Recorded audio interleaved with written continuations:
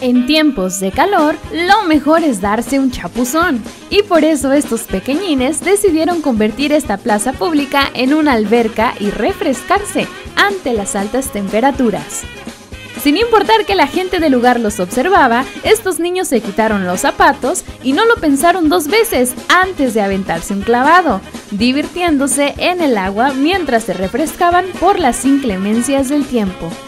Nadando, saltando y riendo, ambos menores se divirtieron mientras se daban un ligero baño.